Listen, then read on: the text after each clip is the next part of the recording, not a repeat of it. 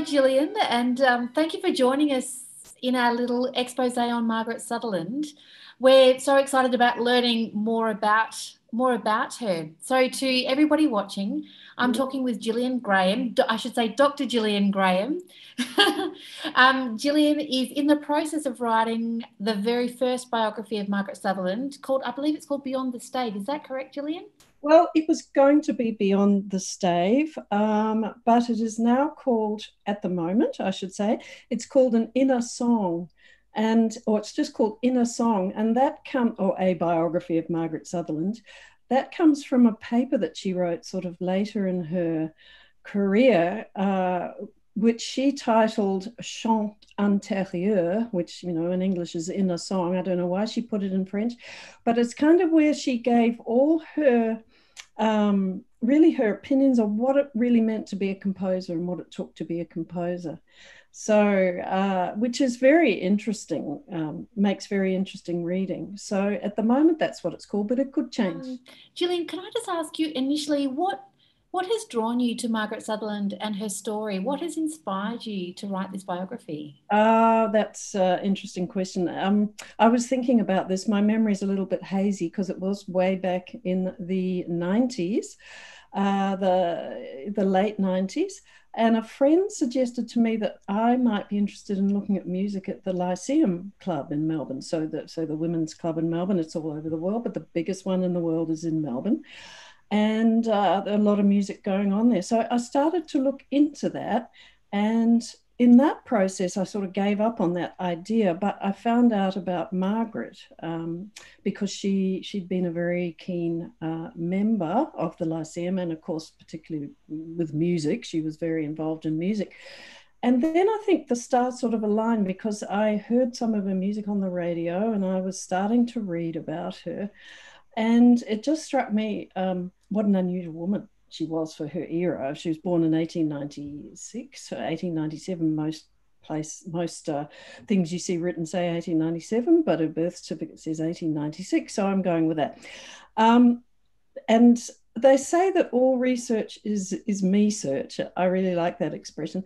And in a way, at the time I was studying and I had two young children, and I was sort of wondering you know how how to to do it all and how to do it all justice. And so her story piqued my interest because she was married and had children.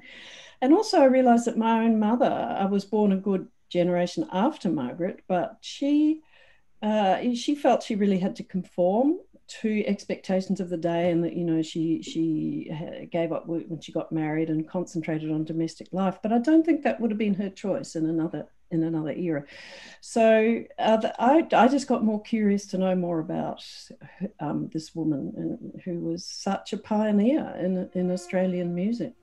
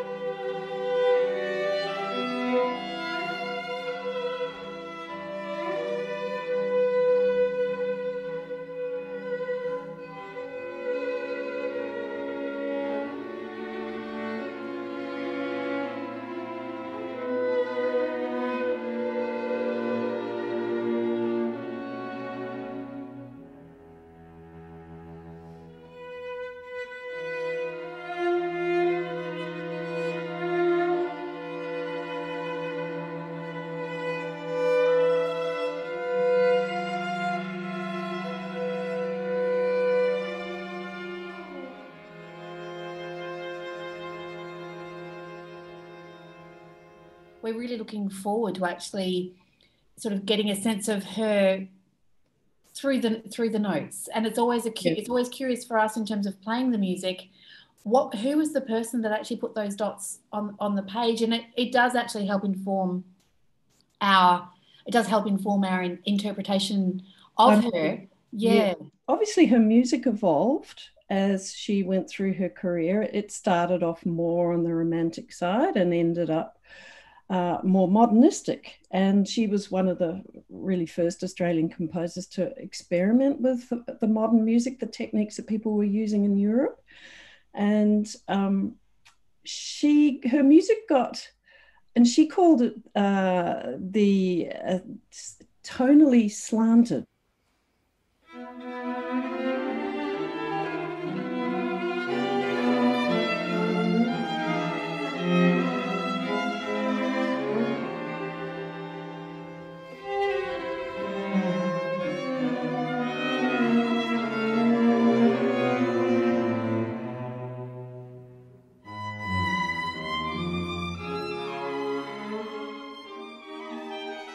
Went through a career, it, the tonalities became more and more different, I guess, more dissonant. Um, she never aspired to being like Schoenberg or, or Webern uh, or Berg. Uh, she, she didn't want to be part of that second Viennese school. She didn't really like 12 tone music. She managed to maintain really her own individual style even though she got sort of more and more dissonant as she went on really in the third string quartet i think probably shows that shows that very well. But in terms of equating that with her personality uh, when when I was doing interviews with people who knew her back in the in the 90s, yeah, late 90s, I got so many descriptions of what she was like as a person. And they ranged from, you know, being sort of really horrible and mean and uh, cold and to warm and and kind and uh, you you name it, she was it. So obviously she was a very complex person. But what I noted, um, I noted particularly from some of the ABC interviews she did when she was late in her career, um, when they did interviews for her 75th and 80th birthdays. And she was she's quite cranky, I have to say. She could be quite cranky. She'd obviously been asked these questions a lot uh, during her life, and she was getting a bit bit over them. And um, but I I think she was anyway not always easy. Um, and I, I remember being in Sydney looking at uh, the National Archives and looking at the ABC records of you know various interactions she'd had with the ABC, and there were two letters there that were just doozies. So it was 1940, and the ABC had put on this series of programs of Australian music, and she was absolutely horrified, and and um, you could tell that from these letters, and she did not hold back.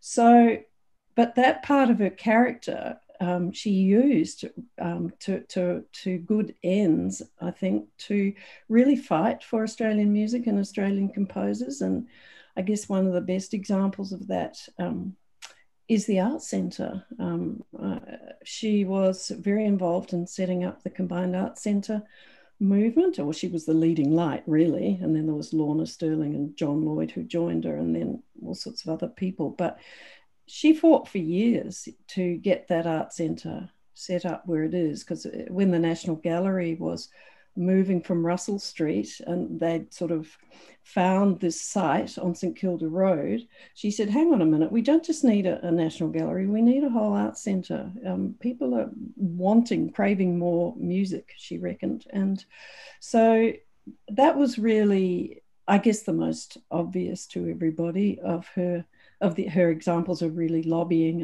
and, and fighting for Australian music. It's yeah. so interesting. I that's the first time I think I've actually heard such a personal description of, of Margaret, and you draw such an amazing, vivid picture of her. And it's interesting because I wanted to to talk about her unique musical language. I feel like, I mean, at the moment, I'm in hotel quarantine in Adelaide, madly learning her first and third string quartets, which we're about to um, to to perform. Um, and one thing that I was sort of trying to work out, you know, what is Margaret's language and trying to describe it for somebody who's never heard her music. And I thought it's incredibly unique. Mm. I find it incredibly strong in character. It's not. Um, there's no doubting what it is that she wants to say on no. on, the, on the music, mm-hmm. and it's and that really matches your description. That's I in terms of, um, and you can hear the you can hear the influence of you know the 20th century 20th century music, but yes, in in actual fact, there's a distinct lyricism in there that uh, that that I that I really that I really re- I'm really loving actually getting to know. It's yes. Yes. So if we look, if we look, if I can bring it back to her her her string quartets and actually what. Oh. Mm-hmm. Because um, just being selfish, I want to know how it all, you know, so uh, how I can understand her a little bit better. Mm-hmm. Her, over her three string quartets, and she wrote th- three. The second one is a shorter one, isn't it? Yes, that's right. The second one is is a shorter one. It's called discussion, yeah. uh, or sort of nickname discussion, I guess. And um, that's because I think that's how she saw uh, the string quartet in general. I actually saw it as all four voices having sort of an equal role in a way, and, and like having a, a conversation. Really, she loved writing chamber music. Uh, I mean, there there's an interesting quote that she she. Made at some point uh, in an interview with James Murdoch, who, who was um, not the James Murdoch we know, but arts administrator and pianist and general advocate for Australian music. And this was in 1968. And, and, she said, A woman can contribute in a special kind of way. I don't think the women want to write the same type of things as men, but their contribution's no less important. And she said, Men seem to have the same yardstick all the time, this symphonic business. So, so I think she, she that, that was sort of a comment, I guess, on uh, perhaps she'd been criticized for um, not writing enough orchestral music or something. I, am not sure quite where that came from. But she did love the intimacy of writing for smaller groups. And of course, the other thing is that she's she was more likely to get them performed uh, because she had a lot of friends in the musical community, and she would often write for them. Um, and she would she loved different mixes of instruments too. So, and I think that was because she genuinely did like you know being original in that way but also because she wrote for people she knew often so you know um, combinations that she thought she could she could put together mm. yeah but but definitely chamber music was her forte and she did write more orchestral music later in her life but uh, I think she was more adept and more comfortable in writing chamber music. In your knowledge, Jillian, has the third quartet it hasn't been recorded, but it was no. performed, wasn't it? It was performed because the third quartet was one was one of only two professional commissions that she ever received. So, and that was late in her career, very late in her career, 1967, and you probably were, but APRA um, commissioned it, mm-hmm. and it was actually written with a purpose in mind, which was um, to celebrate 50 years of her compositional life and there was a concert apparently in the Assembly Hall in Collins Street in Melbourne. And that was where this was performed. Um, but strangely, it wasn't recorded. And um, that seems a bit strange, you know, given it was, it was commissioned. Um, but, and I think it by this stage of her career, which is kind of the last two years really, when she was writing because she went she went blind, um, she really uh, she wanted to show that she was up to the minute in terms of writing contemporary music. Um, be, even though she didn't really, she wasn't really into 12 tone, that sort of serialism or anything, uh, she she wanted to show she could she could do it in a way. And I think there was a lot of new music being played in Melbourne at the time, the ABC through the ABC and the um, International Centre for Contemporary Music or, or, whatever it was called that that had just been revived in Melbourne then. So she was hearing a lot and. And I think that this third string quartet is probably a lot more dissonant uh, or, or, more experimental really than, than the first string quartet you might know from playing um, the same way that if you see a painting that's a little bit jarring mm. you don't not the kind of if I can allude it to or make that analogy with a painting, mm. that it's not that um, it's not the kind of thing where you see a painting and you think, oh my gosh, I can't look at that. I actually find that difficult to look at. Yes. so yes. the same way as with music, you think, actually, I find that really difficult to listen to. I can't mm-hmm. listen to it. It's not that it's actually just interesting.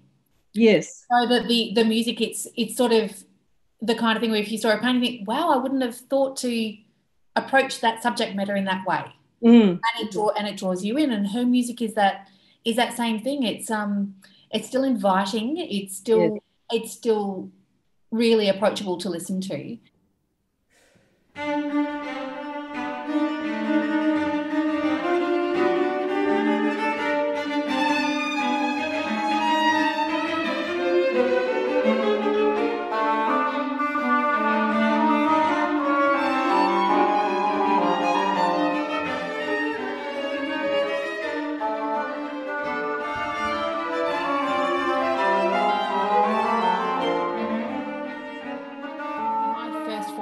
Margaret Sutherland's music happened when Ben Opie introduced me to the string trio and cor anglais work. Oh, okay, yeah. And it's it's absolutely stunning. So much personality and and just really interesting. And um, you know, we sort of we performed it on a couple of rehearsals, and it just made me hungry for more. It's interesting. Some early commentators, um, probably not just early commentators, felt that her music was quite um, cerebral and intellectual and even cold. And I've never understood that description because to me it feels like it's deeply emotional. It's just not necessarily emotional in that um, heart on the sleeve type way, you know, but it's it feels like it's very um, personal to her in a way. And obviously, uh, she, you know, she didn't belong to any particular school of music. It, it was very personal her music. But at the same time she did want to she did, she just didn't want to keep writing lovely romantic tunes you know she really wanted to um, yeah. be experimental and find her own voice. It is interesting that idea and i think that quite often composers are at the mercy of the performers in selling their voice and and their vision. And in in reality, what often, often happens as a performer is that if you're introduced to a new composer, a new piece of music, mm-hmm. you've only got a certain amount of time to bring it to life. Yes. And so, you know, and the temptation is to start and end with the dots on the page and lining them up together. Yes. Not yes. to go, not to go deeper. So I can do, I, I can well understand actually, mm. um, you know, how, you know, that initial reaction to her music because it's just that's just the, the logistics of being a, mu- a musician and a composer that's i'm not sort of criticizing the process just that's mm. just the reality and what needs to happen actually is that pieces they have their own they have their own life so mm. if we look at actually the way string quartets are interpreting beethoven you can track sort of an old school interpretation and right through to a modern interpretation if i say mm know, 21st century interpretation, we mm. don't play Beethoven the same way as we did in the 20th century. No, any less ballad. It really, mm. really doesn't.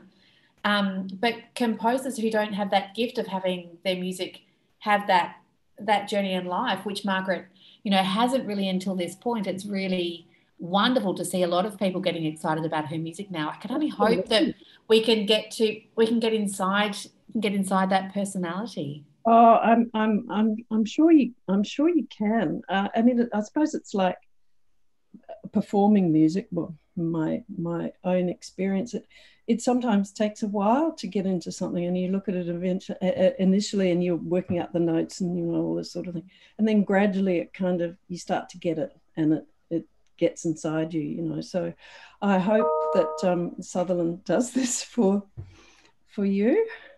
Yeah, this quartet. Mm. It's, it's, I mean, I don't want to um, sort of focus on, um, I think that Margaret Sutherland is amazing regardless. I just think that she stands up there in, in the great Australian composers, mm. regardless, mm. of, being, regardless of being female. Yes. But, but that said, what makes it all the more extraordinary is the fights that she had to go through in order to actually even legitimize herself as a composer, can you talk to us about just just a little, you know, touch on her marriage and actually. Oh yes, yes, yes. And and her decision to become a composer. Well, she wanted to uh, start with being a composer. She was sort of fiddling around on the piano very early on, and she was got taught piano very early by her by an aunt of hers. But I think. Um, well, the thing about her, her being uh, female, which sort of is tied in with her marriage, really, but I think her whole family background uh, led her to expect more um, than she, you know, I think it led her to expect to be more accepted as a as a female composer than than than she was, or, or she didn't expect to have such a struggle because her family was so amazing and they always encouraged her and she spent a lot of time with her father uh, uh, uh in her very early years because he worked this was when she was in adelaide and he worked for the adelaide register he's a journalist and so he worked later in the day he went to work later in the day and all her much older siblings had already gone to school. She had lots of time with with dad. And then she came to melbourne and was involved with this this family, all her aunts and uncles. She had three single aunts and two single uncles, all living in one house. They were very nearby. She spent a lot of time there. They would have discussions about all sorts of things, and the women would be, you know, Aldous Huxley and um, I get it, Aldous Huxley is it, and um, Darwin and and all sorts of things, and the women would be just as involved as the men. So she had this kind of expectation, I think, um, that life would be easier uh, professionally than than it than it really turned out to be. And her marriage, I mean, her husband Norman Albiston, who was a psychiatrist, he was really interested in music, and he he played himself, and he dabbled in a bit of composition, apart from being a medico. Uh, but he didn't really understand her desire, her strong desire to compose. Uh, and I and I guess he was it was partly just being a man of his time that he he would have expected probably that his wife be a, a bit meeker and a bit more domesticated than Margaret was, and uh, it just I mean there's also she's written about it. She she didn't say much about it at all while she was married. She kept it quite quiet until for quite a long time, and I guess that was partly the times. But later on, she sort of um, she did she did write about the struggles she had, and of course they're all from her point of view, and you have to bear that in mind. But she she uh, I was going to say held a big grudge. That's not really the right term, but but she was very bitter about it, and I, I think that's another part of her character that she actually was quite easily offended and easily hurt, but she held that held that you know to herself for quite a while.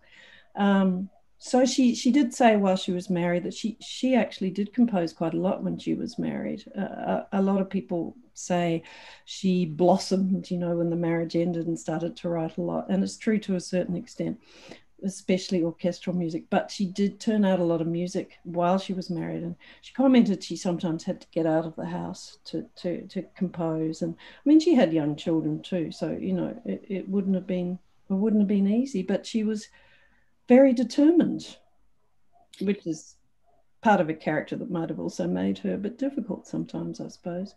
Well, we certainly, I mean, look, we really certainly have Margaret to thank for, for so much today. I mean, not only the art centre, mm. but, she, but, she is a, a, shining light and such a role model for all composers today, not just um, female composers. They're, that that sort of that's a given that you know female mm. composers that are trying to do it all, and um, you know be a mother and sort of keep a house running alongside or play their role in the family alongside being a creative person. But she really is a role model for anybody who has any sort of fight to get their music heard or anybody who's looking for inspiration and having a belief in their own that's capabilities. Right. That's right. That's right. Another interesting thing about her was she she was really critical of other composers who did who who did it just for money or who who wrote sort of more acceptable, more popular music um, because they needed the money. Uh, she she was she was critical of that. She thought you should always be experimenting and finding new ways of, of doing things.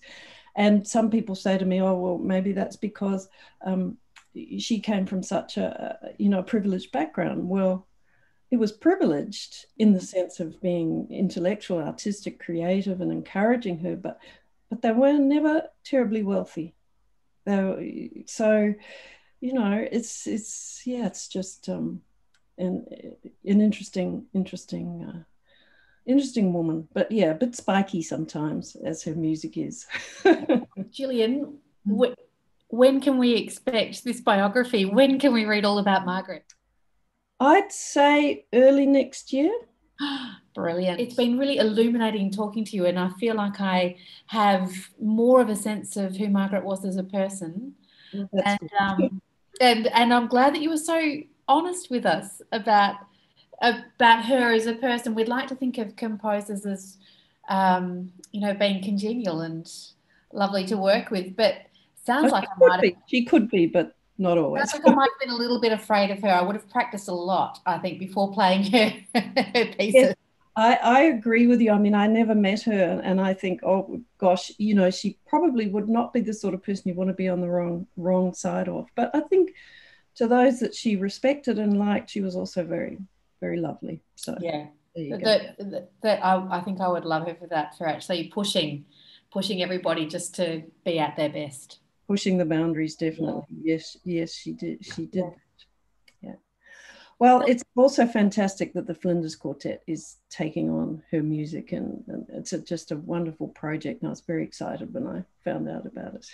Well i hope we're the first of many quartets to be playing her music we're hoping that all around the country and hopefully around the world that people will start falling in love with margaret sutherland that would be nice better late than never Better late than never. Absolutely. Yes. Yeah.